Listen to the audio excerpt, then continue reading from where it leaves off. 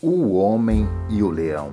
Um homem e um leão discutiam sobre qual deles eram mais fortes. Decidiram conferir ali mesmo. O homem levou o leão até uma sepultura, onde havia uma pintura do defunto matando um leão. O leão retrucou: O que você me mostrou foi pintado por um homem? Se eu soubesse pintar, retrataria um leão matando um homem. Não vamos mostrar nada, pois é melhor medirmos nossas forças uns contra o outro. Depois de matar o homem, o leão disse: Uma prova pintada não é suficiente.